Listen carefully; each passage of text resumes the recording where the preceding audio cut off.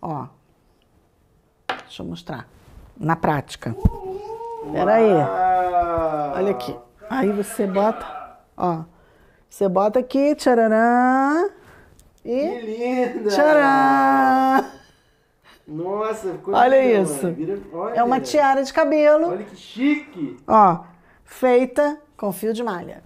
Essa daqui é assim, eu fiz presinha e ela fica presa lá atrás no cabelo, tá? E essa daqui é solta. Ah, essa podia amarrar. Essa daqui eu coloco e.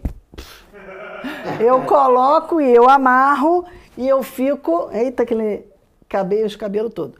E eu fico com ela amarradinha e essas, essas tirinhas ficam aqui atrás, ó. Fica um charme também.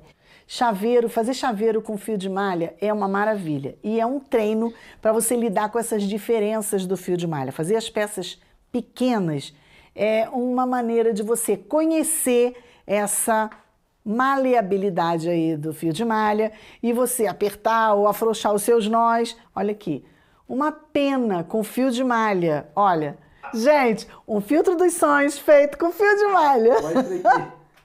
Olha isso. Olha. Olha. Que linda a almofada que ela fez.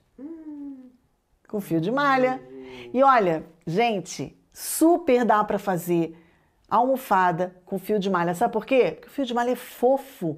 A Fernanda, ela escreveu assim: consegui terminar minha bolsa de macramê com fio de malha e fiquei mega orgulhosa. Mas tem que ficar mesmo, porque olha a bolsa da Fernanda.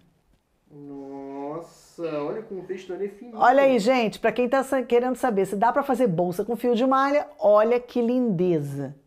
A Andresa da Escola de Nós fez um abajur belíssimo com fio de malha. Olha que lindo. Que lindo. Luminária, abajur, dá para fazer. Agora eu quero mostrar os painéis. Alguém perguntou se dava para fazer painel. Olha, dá para fazer. A gente faz, pode treinar com mini painéis. E aí você trabalha tipos de nós diferentes. Deixa eu mostrar outro. Esse aqui tem nó pipoca. Alguém me perguntou de tarde na caixinha de perguntas se dava para fazer nó pipoca com o fio de malha. Olha, nó pipoca com fio de malha. Olha esse painel. Feito com fio de malha. Lindão, né? Olha que lindo. Muito incrível. E a malha, ela tem um caimento muito legal, então dá para você fazer trabalhos incríveis, painéis incríveis com o fio de malha por causa disso. Tapete com fio de malha. Dá para fazer? Dá para fazer, tapete com fio de malha. E suplá com fio de malha? Deixa eu mostrar o suplá.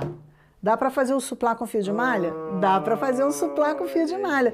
Dá para fazer um porta-copos para acompanhar o, o suplá? Também dá, com fio de malha. Olha que lindo. Coisa mais fofa. Nossa, mãe, esse é lindo. Não é lindo? Ó. Então, gente, quanta possibilidade para você trabalhar com fio de malha.